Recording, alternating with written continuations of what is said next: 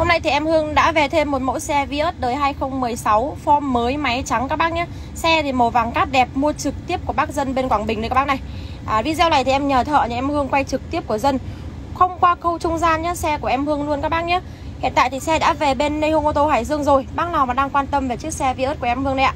Thì kết nối Zalo em tư vấn cho ạ. 2016 giá chào bán là 375 triệu. Bác nào quan tâm thì nhấc máy liên hệ cho em.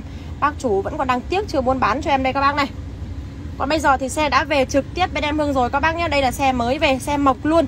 Chưa qua dọn rửa, chưa qua spa mà các bác nhìn nhé Nước sơn bóng đẹp luôn, màu vàng cát. Không taxi, không dịch vụ. Máy trắng form mới rồi. Có đài đèn nét này, biển 37 này. Xe thì cực đẹp luôn, không một lỗi nhỏ ạ. 365 triệu 375 triệu. Bác nào chốt anh em để cho mình còn 365 triệu. Trực tiếp chốt cho em đi ạ. Kết nối Zalo cho em. 035 460 2790 để được em Lê Hương tư vấn này. Một dàn lốp này xi nhan trên gương rất là đẹp luôn. Tích hợp xi nhan trên gương rồi, màu vàng cát này. Đăng ký đăng kiểm của em nó đây, tháng 11 2023. Đấy, đội lón đi ra quay video xe thì vừa mới về đây ạ. Màn hình giải trí tối khí an toàn đầy đủ nhá.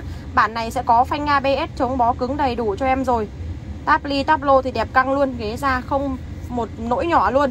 Nếu như phát hiện ra lỗi nhỏ em tặng các bác nhà mình xe luôn nên là các bác ơi xe trực tiếp bên đây Hương rồi. Bác nào đến xem xe thì liên hệ cho em đi ạ. Chốt nhanh nhá siêu phẩm hot hit bản e xịn.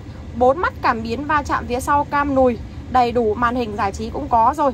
Lại còn là màu vàng cát Một trong những cái màu mà rất là nhiều khách hàng quan tâm luôn. Đây sơn bóng đẹp luôn. Mức tiêu hao nhiên liệu của em nó đây. 8,3 lít trong đô thị Còn ngoài đô thị chỉ 5 lít thôi. Đây các bác nhìn này xe rất là đẹp luôn. Cái lối Zalo 035 4, à, 035 460 2790 để được em Lê Hương tư vấn ạ. Xin chào và hẹn gặp lại.